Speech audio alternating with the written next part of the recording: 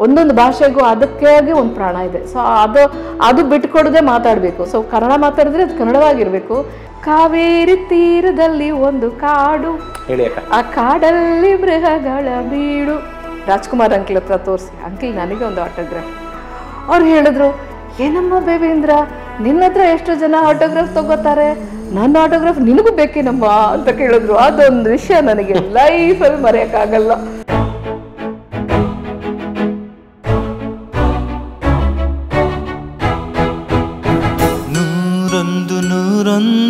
ನೆನಪು ಅಕ್ಕ ಇವರು ನಿಮ್ಗೆ ಇನ್ನೊಬ್ಬ ತಮ್ಮನೇನೆ? ಸರಿ. ತುಂಬಾ ಪ್ರೀತಿಯಿಂದ ಮಾತಾಡಿದರೆ ಇವ್ರನ್ನ ಹುಡುಕಿನ ಸಂದರ್ಶನ ಮಾಡಿದ್ದೆ. ತುಂಬಾ ಪ್ರೀತಿ ನೀವಂದ್ರೆ. ಅವರು ನಿಮ್ಮನ್ನ ತುಂಬಾ ಪ್ರೀತಿಯಾಗಿ ಮಾತಾಡಿದ್ರೆ ಕೆಲವು ವಿಷಯಗಳನ್ನ ನಿಮಗೆ ಜ್ಞಾಪಿಸಿದ್ದಾರೆ. ವಾವ್. ಸೊ ನೋಡೋಣ. ಹಾಯ್ ಇಂದ್ರಕ್ಕ ನಮಸ್ಕಾರ. ಚೆನ್ನಾಗಿದ್ದೀರಾ? ಜ್ಞಾಪಕ ಇದೆಯಾ ನವೀನ? ನಾನು ನಿಮ್ಮನ್ನು ಫಸ್ಟ್ ನೋಡಿದ್ದು. ಪರಾಗ್ ಹೋಟ್ಲ್ನಲ್ಲಿ ನಾವು ಪ್ರಚಂಡ ಪುಟಾಣಿಗಳಿಗೆ ಸ್ಕೇಟಿಂಗ್ ಪ್ರಾಕ್ಟೀಸ್ ಮಾಡೋಕ್ಕೆ ಬರ್ತಾಯಿದ್ವಿ ಆಗ ನಮ್ಮ ಇಂಟ್ರ್ಯಾಕ್ಷನ್ಸ್ ಆಗ್ತಾಯಿತ್ತು ಬೇಕಾದಷ್ಟು ಟಿಪ್ಸ್ ಕೊಡ್ತಾಯಿದ್ರಿ ಆ್ಯಕ್ಟಿಂಗ್ ಮಾಡೋದು ಹೆಂಗೆ? ಸೆಟ್ಟಲ್ಲಿ ಹೆಂಗಿರಬೇಕು? ಮತ್ತು ಡೈರೆಕ್ಟ್ರನ್ನ ಹೆಂಗೆ ನಮಸ್ಕಾರ ಮಾಡಬೇಕು? ಕ್ಯಾಮ್ರಾನ ಹೆಂಗೆ ಫೇಸ್ ಮಾಡಬೇಕು ಅಂತೆಲ್ಲ. ನಮ್ಮ ಫ್ಯಾಮಿಲಿಗಳು ಸಾಕಷ್ಟು ಇಂಟ್ರ್ಯಾಕ್ಟ್ ಮಾಡ್ತಾಯಿದ್ರು ನಮ್ಮ ತಾಯಿ ನಮ್ಮ ತಂದೆ ಎಲ್ಲ ಬರ್ತಿದ್ರು. ನಿಮ್ಮ ತಂದೆನೆಲ್ಲ ಮೀಟ್ ಮಾಡಿದ್ವಿ. ಆಮೇಲೆ ಶೂಟಿಂಗ್ ಟೈಮ್ನಲ್ಲಿ ಸಾಕಷ್ಟು ಇನ್ಪುಟ್ ಸಿಗ್ತಾಯಿತ್ತು ನನ್ನ ಟೆಂಪರ್ಮೆಂಟ್ ಬಗ್ಗೆ. ಮತ್ತು ಒಂದು ಸತಿ ಪ್ರಚಂಡ ಪುಟಾಣಿಗಳಲ್ಲಿ ನಾವು ನಾನು ಹುಡುಗಿ ವೇಷ ಹಾಕಿದ್ದೆ, ಒಂದು ದೊಂಬರ್ ಕುಣಿತದ್ದು ಸಾಂಗ್ ಇತ್ತು. ಅದರಲ್ಲಿ ಹೆಂಗೆ ಡ್ಯಾನ್ಸ್ ಮಾಡಬೇಕು ಅಂತೆಲ್ಲ ಹೇಳ್ಕೊಡ್ತಾ ಇದ್ರಿ. ಸೋ ಕೈಂಡ್ ಆಫ್ ಯು ಇನ್ನೂ ಆ ನೆನಪುಗಳು ತುಂಬ ಹಸರಾಗಿದೆ. ದೇವರು ನಿಮಗೆ ಸದಾಕಾಲ ಸಂತೋಷ, ಆರೋಗ್ಯ ಕೊಟ್ಟು ಕಾಪಾಡಲಿ ಅಕ್ಕ ಹಾಯ್ ನವೀನ್ ಹೋ ಯು ಹೇಗಿದ್ದೀರಾ? ಬಹಳ ವರ್ಷಗಳಾಗೋಯ್ತು. ನವೀನನ್ನು ನೋಡಿ ನನಗೆ ಭಾಳ ಭಾಳ ಸಂತೋಷ ಆಯಿತು. ಎಷ್ಟು ಮುದ್ದಾಗಿ ಮಾತಾಡಿದ್ದೀರಾ? ಬಾನಣ್ಣ ಹೇಳಿದ್ರು ನನಗೆ ರಘು ಅವರು ಕೂಡ ಹೇಳಿದ್ರು ನೀವು ಈಗ ನಾನು ನೀನು ಅಂತ ಹೀಗೆ ಹೇಳಲ್ಲ ನನ್ನ ಮನಸ್ಸಲ್ಲಿ ನೀನು ಅಂತಾನೆ ಬರ್ತಾ ಆದ್ರೆ ಆದರೆ ಕೂಡ ಪಾಪ ದೊಡ್ಡವರಾಗಿದ್ದೀರಾ? ಒಳ್ಳೆ ದೊಡ್ಡ ಪೋಸ್ಟಲ್ಲಿ ಇದ್ದೀರಾ ಸೊ ನಾವು ನಾವು ಡೈರೆಕ್ಟಾಗಿ ಒಂದು ದಿವಸ ನೋಡ್ತೀವಲ್ಲ ಆವಾಗ ನಮ್ಮ ಕತೆ ಇಟ್ಕೊಳ್ಳೋಣ. ಈಗ ನೀವು ಒಳ್ಳೆ ಪೋಸ್ಟಲ್ಲಿ ಇದ್ದೀರಾ ಅಂತ ಗೊತ್ತಾಯಿತು, ಚೆನ್ನಾಗಿದ್ದೀರಾ ಅಂತ ಗೊತ್ತಾಯಿತು, ಮತ್ತು ನೀವು ಚಿತ್ರರಂಗದಲ್ಲಿ ಎಲ್ಲೋ ಇರ್ತೀರಾ ಅಂತ ನಾನು ಅಂದ್ಕೊಂಡಿದ್ದೆ ಆದರೆ you are in different feel just like how I was out of this industry you are also okay ಅದು ಪರವಾಗಿಲ್ಲ. ಬಟ್ ತುಂಬ ಸಂತೋಷ, ಒಂದೊಂದು ನೀವು ಎಷ್ಟು ನೆನ್ಪಿಟ್ಕೊಂಡಿದ್ದೀರಾ? ನಿಮ್ಮ ಅಕ್ಕನ ತುಂಬ ನೆನ್ಪಿಟ್ಕೊಂಡಿದ್ದೀರಾ? ನಾವು ಸ್ಕೇಟಿಂಗ್ ಮಾಡಿದ್ದು, ಜಗಳ ಆಡಿದ್ದು, ಎಲ್ಲ ಜ್ಞಾಪಕ ಇದೆ ನನಗೆ. ಆದರೆ ನಾನು ತುಂಬ ಚೇಂಜಸ್ ಇದೆ. ನವೀನನ್ನು ಫಸ್ಟ್ ನೋಡಿದ ತಕ್ಷಣ ನನಗೆ ಅರ್ಥ ಆಗಲಿಲ್ಲ. ಆಮೇಲೆ ನೀವು ಮಾತಾಡ್ತಾ ಮಾತಾಡ್ತಾ ನಾನು ನೀವು ಅಂತ ತಿಳ್ಕೊಂಡೆ. ಭಾಳ ಸಂತೋಷ. ಇಷ್ಟು ಜ್ಞಾಪಕ ಇಟ್ಕೊಂಡಿದ್ದೀರಾ? ಇಷ್ಟು ಪ್ರೀತಿ ಇಟ್ಕೊಂಡಿದ್ದೀರಾ? ತುಂಬ ಸಂತೋಷ. ದೇವ್ರು ನಿಮಗೆಲ್ಲ ಒಳ್ಳೇದು ಮಾಡಲಿ. ಬೇಗ ನಾವು ಎಲ್ಲರೂ ಮತ್ತೊಂದು ಸತಿ ನಾವು ನೋಡೋಣ. ಆಯಿತಾ? All the very best you thank you so much for your lovely lovely lovely words thank you thank you Naveen sir thank you ನನ್ನ ಕಡೆಯಿಂದನೂ ತುಂಬ ಥ್ಯಾಂಕ್ಸ್ ಅದಕ್ಕೆ ಯಾಕೆ ನಾನು ಅವ್ರು ನಿಮ್ಮ ಜೊತೆ ಮಾಡಿರೋ ಒಂದು ಸ್ಟಿಲ್ಲು ಹಾಕಿದೆ ಹುಡುಗಿ ಗೆಟಪ್ ಹಾಕಿದ್ದಾರಲ್ಲ ಹೌದು, ದೊಂಬರ ಕುಣಿತ ಇದರಲ್ಲಿ. ಸೊ ಅದಕ್ಕೆ ಅದನ್ನು ಹಾಕಿದೆ ನಾನು ಲಾಸ್ಟ್ ಎಪಿಸೋಡ್ ಅಲ್ಲಿ ನಿಮ್ಗೊಂದು ಮಾತು ಹೇಳಿದೆ ಕರ್ನಾಟಕಕ್ಕೆ ನಿಮಗೆ ಒಂದು ಲಿಂಕ್ ಇದೆ ಅಂತ. ಹೌದು. ಆ ಲಿಂಕ್ ಏನಂದ್ರೆ ಸ್ನೇಹಿತರೆ ನಮ್ಮ ಕನ್ನಡದ ಹೆಮ್ಮೆ ಕರ್ನಾಟಕದ ಗೌರವ ದಿಗ್ಗಜ ನಿರ್ದೇಶಕ ಶ್ರೀ ಪುಟ್ಟಣ ಕಣಗಾಲ್ ಅವರ ನಿರ್ದೇಶನದ ಮೊದಲನೇ ತಮಿಳ್ ಸಿನಿಮಾದಲ್ಲಿ ಅಕ್ಕ ಆಕ್ಟ್ ಮಾಡಿದ್ರು ನೋಡಿ ಒಬ್ಬ ಕನ್ನಡ ಡೈರೆಕ್ಟ್ರು ಡೈರೆಕ್ಟ್ ಮಾಡಿರೋ ಸಿನಿಮಾದಲ್ಲಿ ಅಕ್ಕ ತಮಿಳ್ ಮೊದಲು ಸಿನಿಮಾ ಮಾಡಿದ್ರು ಅಕ್ಕ ಟೆಲ್ ಮಿ ಅಬೌಟ್ ದಟ್ ಅಕ್ಕ. ನಾನು ಅವಾಗಲೇ ಹೇಳ್ತಿದ್ನಲ್ಲ ನಮ್ಮ ಒಂದು ವರ್ಷದ ಒಳಗಡೆ ಎಲ್ಲ ಲ್ಯಾಂಗ್ವೇಜಲ್ಲೂ ನನ್ನ ಮಗಳನ್ನ ಆ್ಯಕ್ಟ್ ಮಾಡಿಸಿ ಒಂದು ದೊಡ್ಡ ಒಂದು ಪ್ರಶಸ್ತಿ ತಂದ್ಕೊಡ್ತೀನಿ ಅಂತ ನಮ್ಮಪ್ಪ ಒಂದು ಇದು ಮಾಡಿದ್ರು ಒಂದು ಸಂಕಲ್ಪ ಚಾಲೆಂಜ್ ಮಾಡಿದ್ರು ಅಂತ. ಅದು ಅದರಲ್ಲಿ ನಾನು ಫಸ್ಟ್ ಆ್ಯಕ್ಟ್ ಮಾಡಿದ ತಮಿಳ್ ಮೂವಿ ಸುಡರಂ ಸೂರಾವಳಿಯಂ ಅಂತ. A V M productions banner ಬಹಳ ದೊಡ್ಡ ಬ್ಯಾನರ್ ನಿಮಗೆ ಗೊತ್ತಿದೆ. ಪ್ರೆಸ್ಟೀಜಿಯಸ್ ಬ್ಯಾನರ್ ನಮ್ಮ ಕಮಲ್ ಹಾಸನ್ ಅಣ್ಣ ಅವರು ಕೂಡ ಅವ್ರ ಫಸ್ಟ್ ಮೂವಿ ಕೂಡ ಅವ್ರದ್ದೇ ಇದು ಎ ವಿ ಎಂ ಪ್ರೊಡಕ್ಷನ್ಸ್ ಅವ್ರದ್ದು ಕಳತೂರ್ ಕಣ್ಣಮ್ಮನೇ ಮಾಡಿದ್ರು. ಸೊ ಕಳತೂರ್ ಕಣ್ಣಮ್ಮ ಅದು ವಿಷಯ ಹೇಳ್ಬೇಕಾದ್ರೆ ಕಳತೂರ್ ಕಣ್ಣಮ್ಮ ಮಲಯಾಳಂದಲ್ಲಿ ನಾನೇ ಮಾಡಿದೆ. ಅಂತ ಕಮಲ್ ಅಣ್ಣ ಹೇಳಿ ನನಗೆ ಗೊತ್ತಾಯ್ತು. ಅವರು ಒಂದ್ಸತಿ ಹೇಳಿದ್ರು ನಾನು ಮಾಡಿದ್ದು ಇವಳೇ ಮಾಡಿದ್ಲು ಕನ್ನಡ ಮಲಯಾಳಂನಲ್ಲಿ ಅಂತ. ಸೊ ಈಗ ನಮ್ ನಿಮ್ಮ ಪ್ರಶ್ನೆಗೆ ಬರ್ಬೇಕಂತಂದ್ರೆ ಆವಾಗ ಅವರು ಪುಟ್ಟಣ್ಣ ಕನಗಲ್ ಅಂಕಲ್ ಅಂತ ನನಗೆ ಗೊತ್ತಿರಲಿಲ್ಲ. Because I was too small ಆ ಪಿಕ್ಚರ್ಸ್ ತೋರಿಸ್ತೀನಿ ನಿಮಗೆ. ಸೊ ಅದೊಂದು ಒಳ್ಳೆ ಪಾತ್ರ. ತುಂಬ ಅದರಲ್ಲೊಂದು ಹಾಡಿದೆ. ಜಮ್ಮಿ ಜಮ್ನಿ ಗಣೇಶನ್ ಅಂಕಲ್ ತಂದೆ picture. Cute picture cute song ಅದರಲ್ಲಿ Puttanna Kanagal uncle direction A V M productions banner ಅದರಲ್ಲಿ ಎಸ್ ಪಿ ಮುತ್ತರಾಮನ್ ಅಂಕಲ್ ಅವರು ಅಸೋಸಿಯೇಟ್ ಡೈರೆಕ್ಟರ್ ಅದರಲ್ಲಿ ಅವ್ರು ಪ್ರಧಾನವಾಗಿ ಅವರಿದ್ದರು so that was a wonderful movie experience for me ಆ ವಯಸ್ಸಲ್ಲಿ ಏನು ಅಂತ ಗೊತ್ತಿಲ್ಲ but the way Puttanna Kanagal uncle ನನಗೆ ಹೇಳ್ಕೊಟ್ಟಿದ್ದ ಆ ವಿಷಯಗಳು, the I in that age I was able to fine something it was totally different from other directors though I was very small to understand all those things but I I understand ಈ uncle ಹೇಳೋದು ಬೇರೆ ಥರ ಇದೆ. ಅವು ಆ uncle ಕೇಳ್ಕೊಟ್ಟಿದ್ದು ಬೇರೆ ಥರ ಇದೆ. ಈ ಅಂಕಲ್ ಈ ಥರ ಕ್ಯಾಮ್ರಾ ನೋಡಬಾರ್ದು, ಇದು ಮಾಡಬಾರ್ದು. ಸ್ವಲ್ಪ ನ್ಯಾಚುರಲ್ ಪರ್ಫಾರ್ಮೆನ್ಸ್ ಅನ್ನೋದು ಅಲ್ಲಿಂದ ಕಲ್ತ್ಕೊಟ್ಟೆ ಕಲ್ತ್ಕೊಟ್ಟೆ ಅಂತ ಹೇಳಿದ್ರೆ ಅದು ನಿಜ. ಸೊ ಅಂಥ ಒಂದು ಲೆಜೆಂಟ್ ಅವ್ರು ಮಾಡಿರೋ ತಮಿಳ್ ಮೂವಿಯಲ್ಲಿ ನನ್ನ ಫಸ್ಟ್ ತಮಿಳ್ ಮೂವಿಯಾಗಿ ಅದು ಆಯ್ತು ಅಂದರೆ, ಎಲ್ಲ ಒಂದೊಂದು ಸತಿನೂ ನಾನು ದೇವ್ರಿಗೇನೆ ನಾನು ಸಾಷ್ಟಾಂಗ ನಮಸ್ಕಾರ ಮಾಡ್ತೀನಿ. So that was a great experience with him ಅಕ್ಕ, ಇವಾಗ ಬ್ರೇಕ್ ಮಧ್ಯದಲ್ಲಿ ನಿಮ್ಮ ಅಣ್ಣ, ನಮ್ಮ ಭಾನು ಸರ್ ಬಂದ್ಬಿಟ್ಟು ನನಗೊಂದು ಕ್ವಶನ್ ಕೇಳೋದಕ್ಕೆ ಹೇಳಿ ಆಟೋಗ್ರಾಫ್ ಬಗ್ಗೆ. ಅಂದ್ರೆ ಅವಾಗೆಲ್ಲ ಈ ಫೋಟೋಗ್ರಾಫ್ಗಳು ಸೆಲ್ಫಿಗಳು. ಏನು ಇರ್ಲಿಲ್ಲ. ಅವಾಗೆಲ್ಲ ಒಂದು ಆಟೋಗ್ರಾಫ್ ಒಂದು ಒಂದು ಸೈನ್ ಸಿಕ್ಬಿಟ್ರೆ ಒಂದು ಖುಷಿ ಅಭಿಮಾನಿಗಳು. ಆತರ ಎನಿ ಮೆಮೊರಬಲ್ ಥಿಂಗ್ ಯಾವ್ದಾರ ಒಂದು ಆಟೋಗ್ರಾಫ್ ಕತೆ ಯಾವ್ದಾದ್ರು? ಆಟೋಗ್ರಾಫ್ ಕತೆ ಇದೆ. ಅವಾಗೆಲ್ಲ ಆಟೋಗ್ರಾಫೇ ಎಲ್ಲ ಹೇಗೆಲ್ಲ ಅಂದ್ರೆ ಎಲ್ಲರೂ ಒಂದು ರೆಡಿಯಾಗಿ ಶೂಟಿಂಗ್ ನಡೆಯೋದು ಅನ್ನೋದು ಅವಾಗ ಅವಾಗ ಸೆಟ್ಟಲ್ಲಿ ಭಾಳ ಶೂಟಿಂಗ್ಸ್ ಜಾಸ್ತಿ ಶೂಟಿಂಗ್ಸ್ ಸೆಟ್ ಓರಿಯೆಂಟೆಡ್ ಆಗಿರುತ್ತೆ.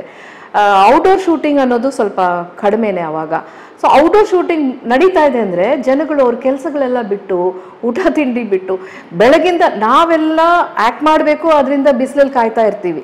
ಇವರೆಲ್ಲ ಅದೇ ಬಿಸಿಲಲ್ಲಿ ಈಕ್ವಲ್ ಆಗಿ ಆ ಜನಗಳು ಕಾಯ್ತಾ ಇರ್ತಾರೆ.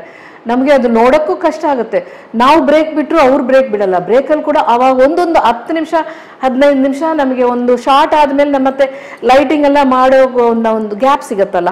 ಆ ಗ್ಯಾಪಲ್ಲಿ ಬಂದರೆ ತಕ್ಷಣ ಓಡ್ಕೊಂಡು ಬಂದುಬಿಡೋರು. ಎಷ್ಟು ಜನ ಅಂದರೆ ಅಷ್ಟು ಜನ. ಮೇಡಮ್ ಅವಾಗ ಬೇಬೀಂದ್ರ ಬೇಬೀಂದ್ರ ನಮಗೊಂದು ಸೈನ್ ಹಾಕಿ ಸೈನ್ ಹಾಕಿ ಅಂತ ಆಟೋಗ್ರಾಫ್ ಕೆಲವರು ಇವು ಇದು ಇದೆಲ್ಲ ನೋಟುಗಳು ಕರೆನ್ಸಿ ಕರೆನ್ಸಿ ತಗೊಂಬಂದು ಕೊಡೋರು. ನಮ್ಮ ತಂದೆ ಅದೊಂದು ಮಾತ್ರ ಹೇಳಿದ್ರು ನನ್ನ ಕರೆನ್ಸಿಯಲ್ಲಿ ಸೈನ್ ಹಾಕ್ಬಾರ್ದಮ್ಮ ಅದು ಗೌರ್ಮೆಂಟ್ ಅವರೇ ಹಾಕ್ಬೇಕು ನಾವು ಹಾಕ್ಬಾರ್ದು ಅಂತ.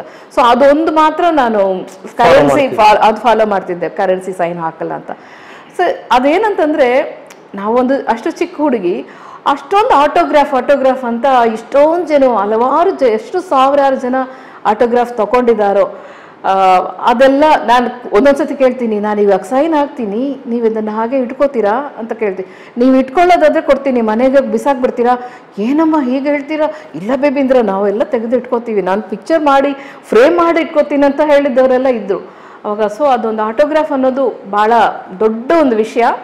ಅದು that that is also a connectivity with the public ಮಕ್ಕಳ ಜೊತೆ ನಾವೆಲ್ಲ ಕನೆಕ್ಟ್ ಆಗೋದಕ್ಕೆ. ಸೊ ಒಂದು ಆಟೋಗ್ರಾಫ್ ಅನ್ನೋದು ನಾವು ಅದು ಆಟೋಗ್ರಾಫ್ ಹಾಕೋ ಒಂದು ಜಾಗದಲ್ಲಿ ದೇವ್ರು ನಮಗೊಂದು ಸಂದರ್ಭ ಕೊಟ್ಟನಲ್ಲ ಅದಕ್ಕೆ ನಾವು ಮತ್ತೆ ಮತ್ತೆ ಮತ್ತೆ ಮತ್ತೆ ದೇವರಿಗೆ ನಮಸ್ಕಾರ ಹೇಳ್ತಾ ಇರಬೇಕು. ಆಟೋಗ್ರಾಫಲ್ಲಿ ಇಂಟ್ರೆಸ್ಟಿಂಗ್ ಆಗೋದು ಒಂದು ವಿಷಯ ಹೇಳಬೇಕು. ಕಂಠೀರವ ಸ್ಟುಡಿಯೋ ಅಂತ ಕಾಣುತ್ತೆ. ಅಲ್ಲಿ ನಾವು ಯಾವುದೋ ಒಂದು ಶೂಟಿಂಗ್ ನಾನು ಯಾವ ಶೂಟಿಂಗ್ ನನಗೆ ಸರಿಯಾಗಿ ನೆನಪಿಲ್ಲ. ಆವಾಗ ನಾನು ಕ ಕನ್ನಡ ಪಿಕ್ಚರ್ಸ್ ಮಾತ್ರ ಅಲ್ಲ ನಮ್ಮ ತಮಿಳ್ ಪಿಕ್ಚರ್ಗಳೆಲ್ಲ ಕೂಡ ಇಡೀ ಮೈಸೂರು ಬೆಂಗಳೂರು ಆ ಕಡೆನೇ ತುಂಬ ಶೂಟಿಂಗ್ ಪ್ರೀಮಿಯರ್ ಸ್ಟುಡಿಯೋಸ್ ಅಲ್ಲೆಲ್ಲ ಶೂಟಿಂಗ್ ನಡೀತಾ ಇರುತ್ತೆ. ಸೊ ಆವಾಗ ಏನಾಯ್ತು ಅಂದ್ರೆ ಒಂದ್ಸತಿ ಪಕ್ಕದ ಸೆಟ್ಟಲ್ಲಿ ರಾಜ್ಕುಮಾರ್ ಅಂಕಲ್ ಅವರು ಶೂಟಿಂಗ್ ನಡೀತಾ ಇದೆ. ಸೊ ನಾನು ಅವರು ಶು ಭಾಳ ಭಾಳ ಪ್ರೀತಿ ನನಗೆ ಭಾಳ ಇಷ್ಟ ನನ್ನ first Kannada picture Rajkumar uncle ಅವರ ಬಾಲಪಾಠ ನಾನು ಮಾಡಿದ್ದೀನಿ. I have I have made ಬಾಲ ರಾಜ್ಕುಮಾರ್ ಅಂಕಲ್ ಪಾಠ ಹುಡುಗನ್ ಪಾತ್ರ. ಹುಡುಗನ್ ಪಾತ್ರ ಅದು. ಜನ್ಮ ರಹಸ್ಯ. ಕಾವೇರಿ ತೀರದಲ್ಲಿ ಒಂದು ಕಾಡು. ಆ ಕಾಡಲ್ಲಿ ಮೃಗಗಳ ಬೀಡು. ಅದೆಲ್ಲ ಅಮೇಝಿಂಗ್ ಆ ಮೂವಿ ಅದೆಲ್ಲ ನನಗೆ ಆ ಮೂವಿ ಅಷ್ಟು ನೆನಪಿಲ್ಲ ಆದರೆ ರಾಜ್ಕುಮಾರ್ ಅಂಕಲ್ಗೆ ಅದೆಲ್ಲ ನೆನಪಿದೆ ಸೊ ಇದು ಎಲ್ಲರೂ ಅವರು ಸುತ್ತ ನಿಂತ್ಕೊಂಡು ಎಷ್ಟು ಎಷ್ಟು ನಿಮ್ಗೆ ಗೊತ್ತಲ್ಲ ಸ್ಟುಡಿಯೋ ಆದರೆ ಕೂಡ ಅಂಕಲ್ ಬಂದರೆ ಎಷ್ಟು ಜನ ಆಟೋಗ್ರಾಫ್ಗೋಸ್ಕರ ಅವ್ರಿಗೋಸ್ ಅವ್ರ ಹತ್ರ ಆಟೋಗ್ರಾಫ್ಗೆ ಎಲ್ಲರೂ ನಿಂತಿದ್ರು. ಸೊ ನನಗೆ ಅನಿಸುತ್ತು, ಆ, ಇವರು ನನ್ನ ಹತ್ರ ಒಂದು ತಗೋತಾ ಇದ್ರು ಅವ್ರ ಹತ್ರ ಅಷ್ಟು ಗುಂಪು, ನನಗೆ I I felt like I have to take an autograph from him ಅವ್ರ ಹತ್ರ ನಾನೊಂದು ಆಟೋಗ್ರಾಫ್ ತಗೋಬೇಕು. ನನ್ನ ಚೆನ್ನಾಗಿ ಪರಿಚಯ ಆಯಿತು. ಅವ್ರ ಕೈಯಿಂದಲೇ ತುಂಬಾ ಅವಾರ್ಡ್ಸ್ ಎಲ್ಲ ತಗೊಂಡಿದ್ದೀನಿ ಕೆಲವು ಪಿಕ್ಚರ್ಸ್ಗೋಸ್ಕರ ಅಂಡ್ ಒಂದು ದೂರದರ್ಶನಲ್ಲೂ ಅದು ಅದೊಂದು ಘಟನೆ ಇದೆ. ಅದೊಂದು ಇದಿದೆ ಅದು ಹೇಳ್ತೀನಿ. ಸೊ ಆಟೋಗ್ರಾಫ್ಗೆ ನಾನು ಒಂದು ನನ್ನ ಹತ್ರ ಒಂದು ಯಾವಾಗಲೂ ಸ್ಕೂಲ್ ನಾ ಸ್ಕೂಲ್ ರೆಗ್ಯುಲರ್ ಆಗಿ ಹೋಗೋಕ್ಕಾಗ್ತಿರ್ಲಿಲ್ಲ. ಆದರೆ ನನ್ನ ಬುಕ್ಸ್ ಯಾವಾಗಲೂ ನನ್ನ ಹತ್ರ ಇರುತ್ತೆ. So I had my notebook also with me so ನಾನು ಏನು ಮಾಡಿದೆ ಸೀದಾ ತಗೊಂಡು ಹೋಗಿ ರಾಜ್ಕುಮಾರ್ ಅಂಕಲ್ ಹತ್ರ ತೋರಿಸಿ ಅಂಕಿಲ್ ನನಗೆ ಒಂದು ಆಟೋಗ್ರಾಫ್ ಅವ್ರು ಹೇಳಿದ್ರು ಏನಮ್ಮ ಬೇಬೇಂದ್ರ ನಿನ್ನ ಹತ್ರ ಎಷ್ಟು ಜನ ಆಟೋಗ್ರಾಫ್ ತಗೋತಾರೆ. ನನ್ನ ಆಟೋಗ್ರಾಫ್ ನಿನಗೂ ಬೇಕೇನಮ್ಮ ಅಂತ ಕೇಳಿದ್ರು. ಅದೊಂದು ವಿಷಯ ನನಗೆ ಲೈಫಲ್ಲಿ ಮರೆಯೋಕ್ಕಾಗಲ್ಲ. ಸೊ ಅಂತ ಹೇಳಿ ಅದು ನನಗೆ ಆಟೋಗ್ರಾಫ್ ಮಾಡಿಕೊಟ್ಟು ನಾನು ಅವ್ರಿಗೆ ನಮಸ್ಕಾರ ಮಾಡಿದೆ. ಏನು ಕಂದ ತುಂಬ ಚೆನ್ನಾಗಿ ಮಾಡ್ತೀಯ ನೀನು?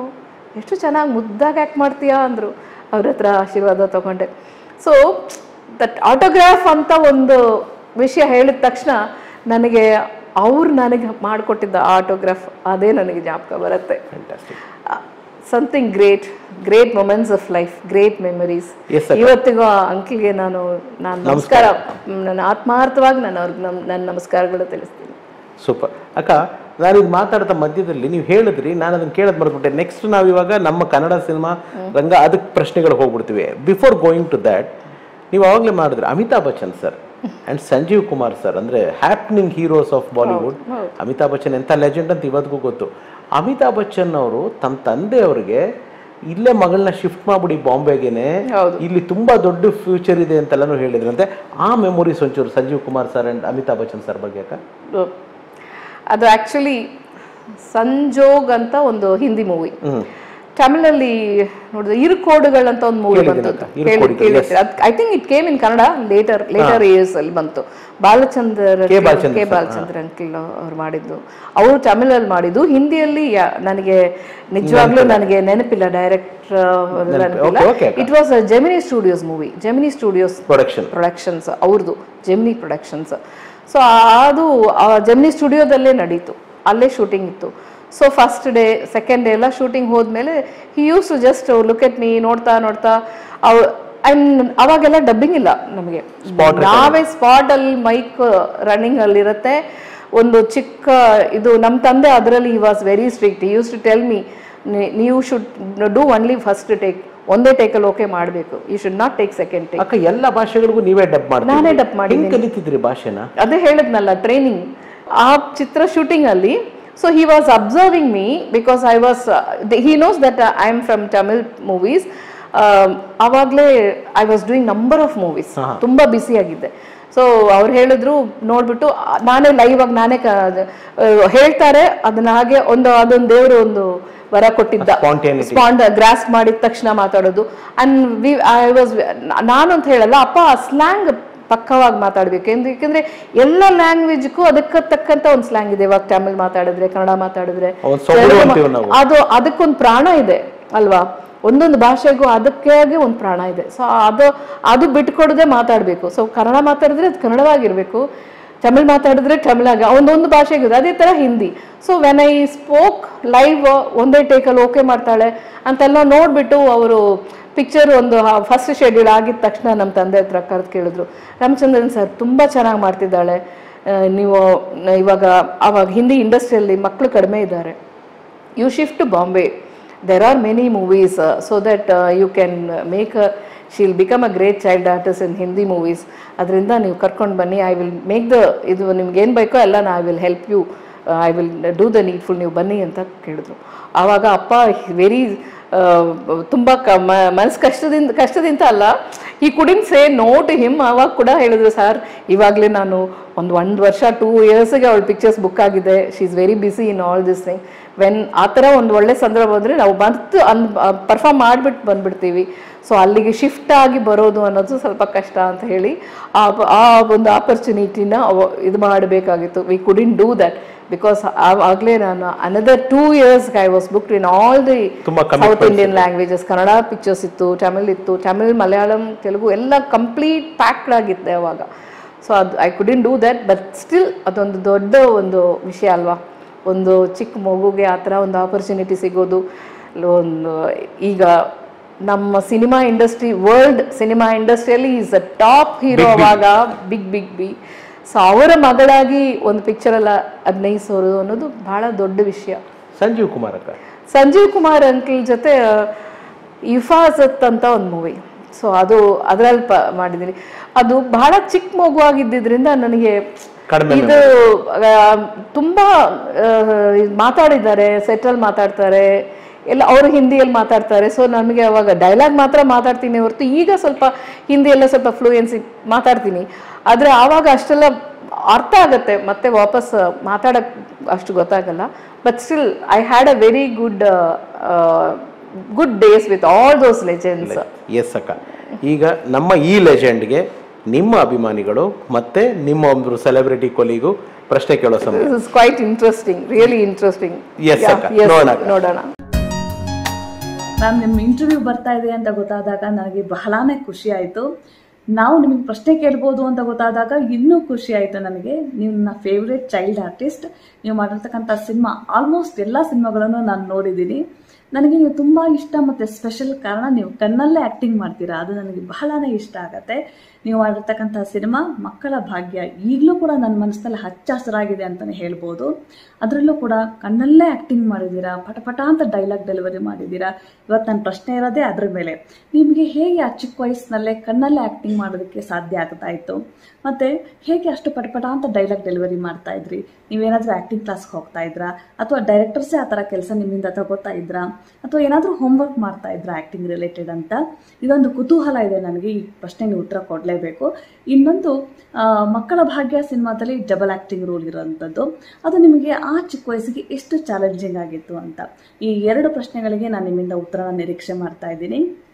ಜೊತೆಗೆ ಈ ಸದಾವಕಾಶವನ್ನು ಕೊಟ್ಟಿರ್ತಕ್ಕಂಥ ರಘುರಾಮ್ ಸರ್ ಮತ್ತು ಅವರ ಟೀಮ್ಗೆ ನಾನು ಧನ್ಯವಾದಗಳನ್ನು ಹೇಳಕ್ಕೆ ಇಷ್ಟಪಡ್ತಾ ಇದ್ದೀನಿ. ಮತ್ತು ನಿಮಗೆ ದೇವರು ಒಳ್ಳೇದು ಮಾಡಲಿ madam thank you so much hi Diana very happy to meet you ತುಂಬ ಸಂತೋಷವಾಯಿತು. ನಿಮ್ಮ ಪ್ರಶ್ನೆಗಳು ತುಂಬ ಅಪರೂಪವಾದದ್ದು. ಎಲ್ರಿಗೂ ಅಷ್ಟು ಯೋಚನೆ ಬರಲ್ಲ.